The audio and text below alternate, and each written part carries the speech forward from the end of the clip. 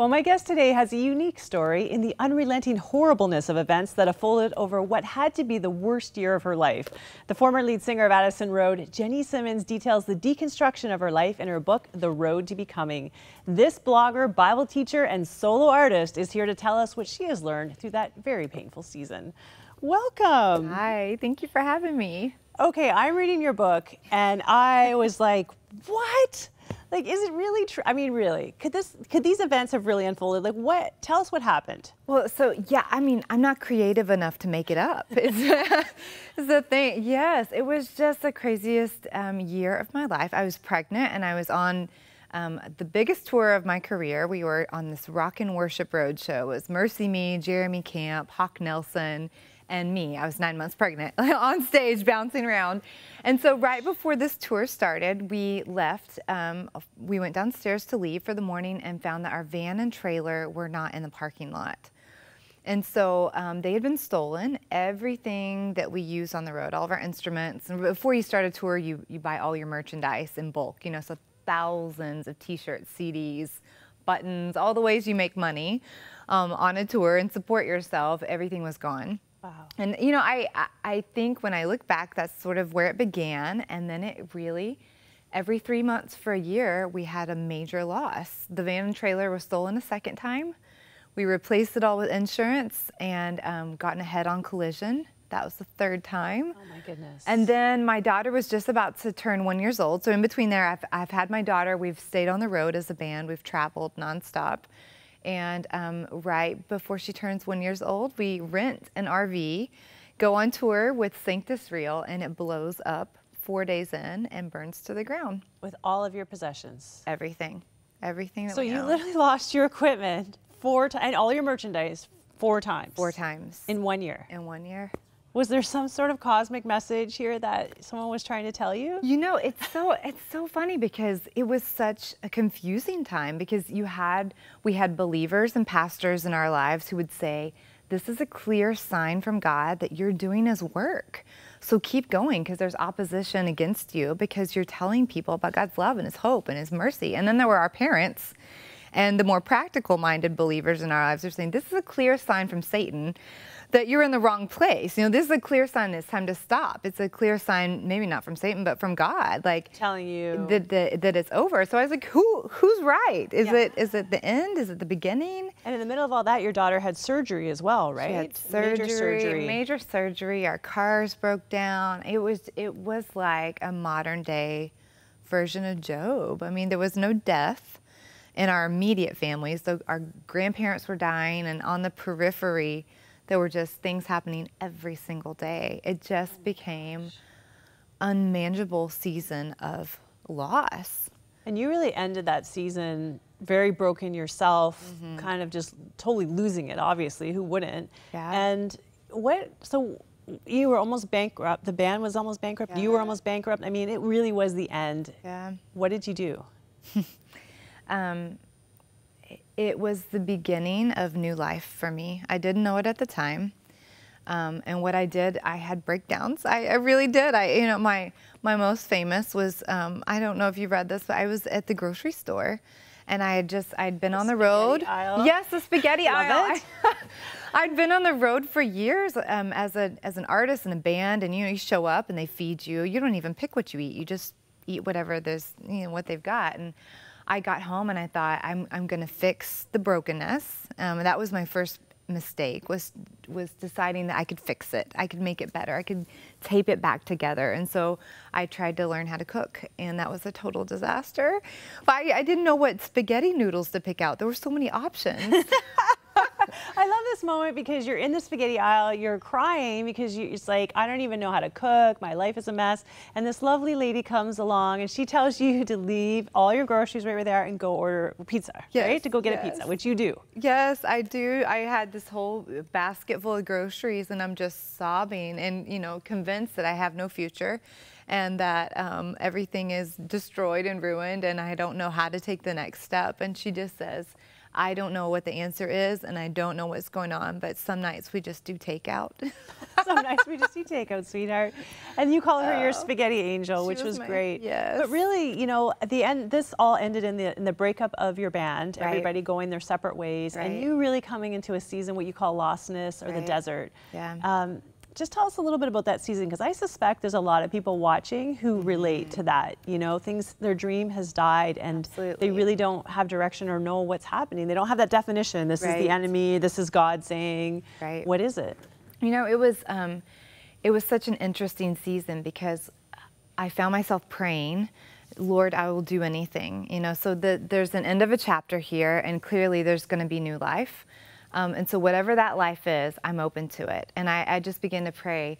I, will go to I'll go to Africa. I will serve on a church staff. I will do whatever. And the Lord very clearly spoke to me one night, and He said, "I want you to be lost." And I remember thinking, um, well, that's the meanest answer I've ever heard. And it, and I think for me, it was because I had spent so many years controlling and fixing and having a plan, and it was just this invitation to experience faith. And so all of a sudden I went back to the Old Testament and, and the, the Israelites in the desert just wandering and, and waiting for manna and waiting for quail and waiting for Red Seas to open and waiting um, for plagues to come and go and pass. And, and what I realized the Lord was saying to me is, Jen, you have talked about faith your whole life, but you've never actually had to live it. You've never actually had to be um, like the widow um, that Elijah goes to, and she says, I can't feed you because this is the last of what I have, the last of my oil, the last of my water, and then my son and I will die. And Elijah says, Do what God has asked you to do, anyways, and trust that there will be just Give enough. the end of your food. Right, the yeah. end. And so that was what the Lord was asking me trust that there will be enough tomorrow. Not the next five years planned out, not the next 10 years planned out. Do you trust me that you know my word is a lamp unto your feet and a light unto your path not i illuminate the next 500 yards i illuminate the next five years. Do you trust that tomorrow there will be light and that i will be faithful to, to you to take the next step and then the next step? And so truly i felt like the lord's answer to me for a season was not to not give me an answer just yet Mm. And so for a season, I learned what it was like to wake up and trust that God was faithful and that I didn't have to have it figured out and that I couldn't fix it and that I didn't know what came next. And you talked about how, you know, you talked about being in the desert and the Israelites had manna. They had food delivered every single day. Right. And you talked about how there was so much kindness from God during that time and so many little miracles and things that people were oh, yeah. providing for you yeah. that you saw. But I remember this one moment where your pastor asked you, What do you, Jenny, what do you really want God to do? And you said, "Give me money," you know, because money's the issue at this point, right? Right. right. And what did what did your pastor say? What did what did you think coming out of that? I thought it was quite profound. Thank you. Um, you know, she said, "What if there's never money? Is God still faithful? Is He still good? Um, what if what you think the answer is isn't really the answer after all?"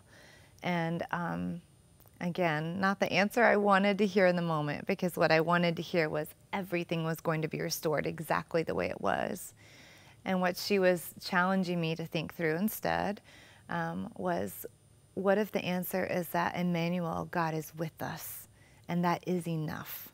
That is enough. Whether the money is restored exactly the way it was, whether the finances or the marriage or the physical illness that you're facing, whether those things are restored the way you hoped and dreamed for it, or whether it looks different at the end, can you still live your story well, hand in hand with a Savior who says, Yes, you walk through the valley of the shadow of death, but you can fear no evil, for I'm with you. My rod, my staff, they comfort you. And she just said, Is that going to be enough for you or not? Hmm. And so I had to get to the place where I thought, All right, Lord, is it going to be enough for me? And it didn't mean that I stopped believing or I stopped asking or praying for God's blessing and this richness and restoration. But I began to realize that restoration might look different than what I'd always thought, and that that was okay. And you came into a season that you call the becoming, mm-hmm. where it was new life for you. There was after this desert time, yeah. but it it didn't necessarily mean that your circumstances were necessarily changing, but you changed. I changed. And he, he started doing something in you. Tell me quickly about that. Yeah. I, I just began to look at life differently. You know, as I started the journey as a girl with lots of plans and lots of um, control over my life. And I ended the journey in, in this particular story as a girl who realized that I had to live with open hands. And as a girl who realized that no matter what the road looked like, how many detours, how many thefts, how many fires that you have along the way, um, that storyline being fixed wasn't the answer. I began to change my heart and live as open handed. You know, what does today bring?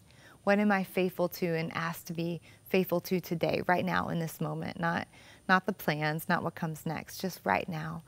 And so I felt like the Lord just um, invited me, choose life. You know, he, says that in the Old Testament. He goes to the people, says, choose life that you might live. Choose to stay who you will serve and choose life. And that just became my mantra. Today, I choose life.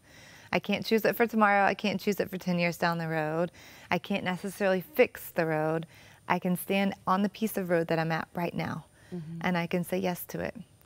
You give an analogy in your book about so many of us are walking down the road with our heads down and thinking about the next thing, the next thing. We're not listening for God's voice. We're not connecting with Him because we don't have that need. And I and I love, you know, in your book. Um, just how you learn to have an attitude of gr gratefulness. And it's not mm-hmm. necessarily about this great story where everything was restored and now you're this fam more famous rock band than you ever would have been. Right. You know, your story is still unfolding, but we're always waiting for the next thing. But this is life right now, today. This is our life, and we have to live it to the fullest. I think it's a really good thing for all of us to think about and remember. Thank you so much for sharing Absolutely. so honestly. This went way too fast, Aww. but there's so much more wisdom in this book, and you. you. have a beautiful writing style. So thank you thank so much. You. The book is The Road to Becoming, Jenny Simmons. We have it available on our e-store. If you want to read the full story, this is where you get it. There's tons of gems and wisdom in here. And I'm sure many of us were in that journey of the in-between, you know, possibly in the desert, not really sure of our calling, not sure of our direction, not even sure what God's doing or if he's even with us we need to remember that He'll never leave us. The promise is He will never leave you or forsake you, no matter how dark it is, whatever you are going through. The most important thing you can do right now, if you're in that place, is call the number on your screen. We have prayer lines 24 hours a day, seven days a week. We're just here to journey with you, to give you some encouragement, to listen, to pray with you, to talk to God with you. Sometimes if you don't even have the words, we can pray for you. We can talk to Him for you and with you. Please give us a call. We just want to help you on that journey.